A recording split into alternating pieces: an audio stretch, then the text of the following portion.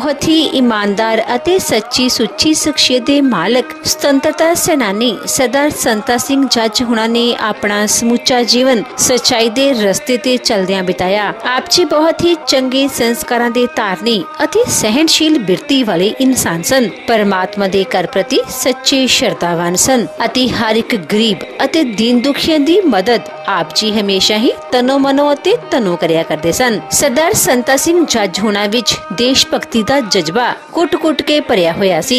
ਆਪ ਜੀ ਨੇ ਦੇਸ਼ ਦੀ ਆਜ਼ਾਦੀ ਦੀ ਲੜਾਈ ਵਿੱਚ ਬਹੁਤ ਹੀ ਮਹੱਤਵਪੂਰਨ ਯੋਗਦਾਨ ਅਦਾ ਕੀਤਾ। ਆਪ ਜੀ ਨੇਤਾ ਜੀ ਸੁਭਾਸ਼ ਚੰਦਰ ਬੋਸ ਦੇ ਸਮਕਾਲੀ ਸਨ ਅਤੇ ਆਪ ਜੀ ਨੇ ਲੰਮਾ ਸਮਾਂ ਉਹਨਾਂ ਨਾਲ ਕੰਮ ਕੀਤਾ ਅਤੇ ਉਹਨਾਂ ਦੇ ਨਾਲ ਜੇਲਾਂ ਕਟੀਆਂ। ਮੌਜੂਦਾ ਸਮੇਂ ਵਿੱਚ ਆਪ ਜੀ ਦੇ ਕਿਰਤ ਅਤੇ ਚੰਗੇ ਸੰਸਕਾਰਾਂ ਦਾ ਲਾਇਆ ਬੂਟਾ ਆਪ ਜੀ ਦੀ ਫੁਲਵਾੜੀ ਵਿੱਚ ਪਰਫੁੱਲਿਤ ਹੋ ਰਿਹਾ ਹੈ। ਆਪ ਜੀ ਦੇ ਬੱਚੇ ਬਹੁਤ ਹੀ ਆਗਿਆਕਾਰੀ ਹਨ। ਮਿੱਠ ਬੋਲੜੇ ਸੁਭਾਅ ਦੇ ਮਾਲਕ ਹਨ ਅਤੇ ਸਭਨਾਂ ਨਾਲ ਸੱਚੀ ਹਮਦਰਦੀ ਰੱਖਣ ਵਾਲੇ ਇਨਸਾਨ ਹਨ। ਸਭ ਤੋਂ ਵੱਡੀ ਗੱਲ ਆਪ ਜੀ ਦੇ ਬੱਚੇ, ਆਪ ਜੀ ਦੇ ਪਾਏ ਪੂਰਨਿਆਂ ਤੇ ਚੱਲਣ ਵਾਲੇ ਇਨਸਾਨ ਹਨ। ਸਰਦਾਰ ਸੰਤਾ ਸਿੰਘ ਹੁਣਾਂ ਦੀ ਯਾਦ ਵਿੱਚ ਇੱਕ ਧਾਰਮਿਕ ਸਮਾਗਮ ਦਾ ਆਯੋਜਨ ਉਹਨਾਂ ਦੇ ਸਮੂਹ ਪਰਿਵਾਰ ਵੱਲੋਂ ਉਹਨਾਂ ਦੇ ਗ੍ਰਹਿ ਪਿੰਡ ਕੋਠਾ ਲੋਈਆਂ ਖਾਸ ਜ਼ਿਲ੍ਹਾ ਜਲੰਧਰ ਵਿਖੇ ਕਰਵਾਇਆ ਗਿਆ, ਜਿਸ ਵਿੱਚ ਰਾਗੀ ਸਿੰਘਾਂ ਵੱਲੋਂ ਕੀਰਤਨ ਦੀ ਹਾਜ਼ਰੀ ਲਗਵਾਈ ਅਤੇ ਆਈਆਂ ਹੋਈਆਂ ਸਮੂਹ ਸੰਗਤਾਂ ਨੂੰ ਉਸ ਪਰਮਪਿਤਾ ਪਰਮਾਤਮਾ ਦੇ ਚਰਨਾਂ ਨਾਲ ਜੋੜਿਆ।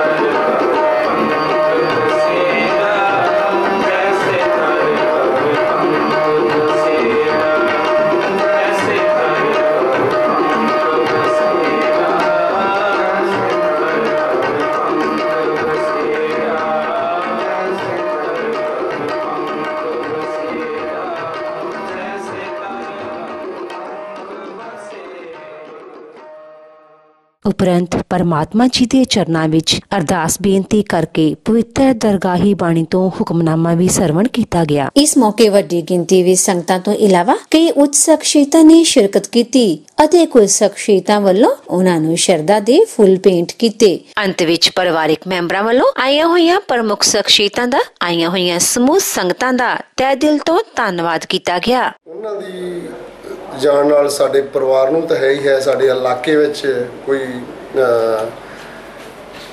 ਹੋਰ ਆਜ਼ਾਦੀ ਘਲਾਟੀਆ ਨਹੀਂ ਸੀ।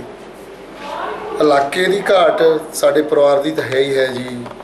ਉਹਨਾਂ ਦੀ ਘਾਟ ਕਦੇ ਪੂਰੀ ਨਹੀਂ ਹੋ ਸਕਦੀ।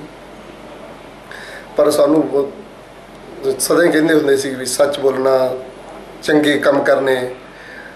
ਅਸੀਂ ਪਰਮਾਤਮਾ ਮੁਰੇ ਅਰਦਾਸ ਕਰਦੇ ਵੀ ਸਾਨੂੰ ਇੰਨੀ ਸ਼ਕਤੀ ਦੇਈ, ਉਹਨਾਂ ਦੇ ਦਿੱਤੇ ਹੋਏ ਪੂਰਨੇ ਤੇ ਵੀ ਚੱਲ ਸਕੀਏ। ਸਾਡੇ ਮਾਤਾ ਜੀ ਸ੍ਰੀਮਤੀ ਸਵਰਨ ਕੌਰ ਜੀ, ਜਿਨ੍ਹਾਂ ਨੂੰ 21 ਸਾਲ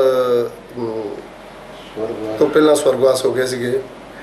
ਤੇ ਉਹਨਾਂ ਦੇ ਜਾਣ ਤੋਂ ਬਾਅਦ ਬੜਾ ਦੁੱਖ ਦਾ ਸਦਮਾ ਤਾਂ ਬਹੁਤ ਹੋਇਆ, ਪਰ ਸਾਡੇ ਪਿਤਾ ਜੀ ਨੇ ਸਾਨੂੰ ਮਾਤਾ ਜੀ ਵਾਲਾ ਪਿਆਰ ਵੀ ਦਿੱਤਾ ਤੇ ਪਿਓ ਵਾਲਾ ਤਾਂ ਦਿੰਦੇ ਹੀ ਦਿੰਦੇ ਸੀ। ਉਹਨਾਂ ਦੀ ਬਦੌਲਤ ਅਸੀਂ ਬੜੇ ਤਿੰਨ ਭਰਾ ਸੀ, ਅਮਰੀਕਾ 'ਚ ਰਹਿ ਰਹੇ ਹਾਂ, ਬਹੁਤ ਵੈਲ ਸੈਟਡ ਆ। ਤੇ ਦੇਸ਼ ਦੀ, ਕੌਮ ਦੀ ਪਬਲਿਕ ਦੀ ਸੇਵਾ ਅਸੀਂ ਉਹਨਾਂ ਦੇ ਦੱਸਣ ਮੁਤਾਬਕ ਹੀ ਅਸੀਂ, ਉਹਨਾਂ ਦੀ ਸਿੱਖਿਆ ਦਿੱਤੀ ਮੁਤਾਬਕ ਹੀ ਅਸੀਂ ਬਹੁਤ ਚੰਗੇ ਤਰੀਕੇ ਨਾਲ ਕਰ ਰਹੇ ਹਾਂ। ਸਾਡੇ ਪਿਤਾ ਜੀ ਬਹੁਤ ਹੀ ਸਾਦੇ ਕਿਸਾਨ ਸਨ, ਆਜ਼ਾਦ ਹਿੰਦ ਫੌਜ ਵਿੱਚ ਸਨ ਤੇ ਉਹ ਇੱਕ ਬਹੁਤ ਹੀ ਵਧੀਆ ਇਨਸਾਨ ਸਨ। ਉਹਨਾਂ ਦੇ ਪੰਜ ਬੇਟੇ ਤੇ ਤਿੰਨ ਧੀਆਂ ਸਨ। ਬਹੁਤ ਹੀ ਲੈਕ ਪੰਜੇ ਬੇਟੇ ਔਰ ਧੀਆਂ ਸਨ। ਸਾਡੀ ਮਾਤਾ ਜੀ ਜੋ ਕਿ ਅੱਜ ਤੋਂ 21 ਸਾਲ ਪਹਿਲਾਂ ਸੁਰਗਵਾਸ ਹੋ ਗਏ ਸਨ। ਬਾਹਰ ਵਿੱਚ ਉਹਨਾਂ ਨੇ ਸਾਨੂੰ ਬਹੁਤ ਹੀ ਸੁਚੱਜੇ ਢੰਗ ਨਾਲ ਵਿਦੇਸ਼ਾਂ ਵਿੱਚ ਭੇਜਿਆ। ਤਿੰਨ ਭਰਾ ਸੀ, ਕੈਲੀਫੋਰਨੀਆ ਵਿੱਚ ਹਨ ਤੇ ਸਾਡੀਆਂ ਤਿੰਨ ਭੈਣਾਂ ਜੋ ਉਹ ਇੱਥੇ ਹਨ ਤੇ ਅਸੀਂ ਤਿੰਨੇ ਭਰਾ ਔਰ ਦੋ ਭਰਾ ਸਾਡੇ ਇੱਥੇ ਹਨ ਤੇ ਅਸੀਂ ਪੰਜਾਂ ਨੇ ਰਲ ਕੇ ਬਹੁਤ ਹੀ ਵਧੀਆ ਕੰਮ ਕੀਤੇ। ਉਹਨਾਂ ਦੀ ਸਿੱਖਿਆ ਦਾ ਸਦਕਾ ਅਸੀਂ ਪੰਜੇ ਭਰਾ ਵਿਲਸਟ ਹਾਂ ਤੇ ਇਕੱਠੇ ਕਾਰੋਬਾਰ ਕਰਦੇ ਹਾਂ। ਇਹ ਦੋ ਭਰਾ ਇੱਥੇ ਹਨ ਤੇ ਤਿੰਨ ਉੱਥੇ ਹਨ। ਸਾਰਿਆਂ ਦਾ ਕਾਰੋਬਾਰ ਇਕੱਠਾ ਹੀ ਹੈ। ਤੇ ਅੱਜ ਜੋ ਸਾਡੇ ਨਾਲ ਵਿਛੜ ਗਏ ਹਨ, ਸਾਨੂੰ ਬਹੁਤ ਯਾਦ ਆਉਂਦੀ ਹੈ ਕਿ ਤਿੰਨ ਵਾਰ ਉਹ ਸਾਡੇ ਕੋਲ ਕੈਲੀਫੋਰਨੀਆ ਗਏ ਹਨ ਔਰ ਤਿੰਨੇ ਵਾਰ ਸਾਡੇ ਨਾਲ ਬਹੁਤ ਉੱਥੇ ਪਿਆਰ ਨਾਲ ਗੱਲਬਾਤ ਕਰਦੇ ਸਨ ਕਿ ਤੁਸੀਂ ਵੀ ਇੰਡੀਆ ਆਇਆ ਕਰੋ। ਪਰ ਅਸੀਂ ਸਾਲ 'ਚ ਦੋ ਚੱਕਰ ਤਿੰਨੇ ਭਰਾ ਲਾਉਂਦੇ ਸੀ।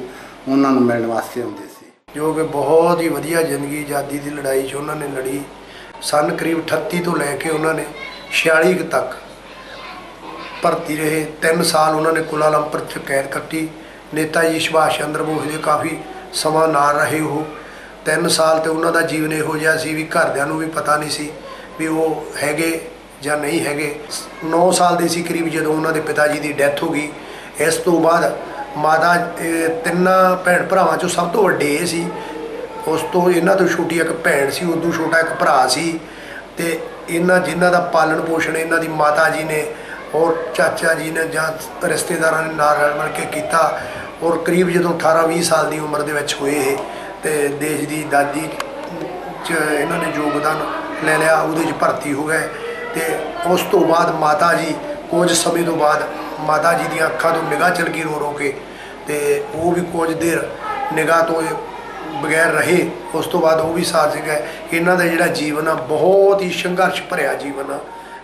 ਜੋ ਕਿ ਸਾਡੇ ਪਿਤਾ ਜੀ ਆਜ਼ਾਦੀ ਘਲਾੜੀਏ ਦੀ ਅਜੰਤਮ ਅਰਦਾਸ ਵਿੱਚ। ਸਮੂਹ, ਸੰਗਤਾਂ, ਸਿਆਸੀ ਗੈਰ ਸਿਆਸੀ ਪਾਰਟੀਆਂ ਜਿੰਨੀਆਂ ਵੀ ਆਈਆਂ, ਸਾਰਿਆਂ ਦਾ ਧੰਨਵਾਦ।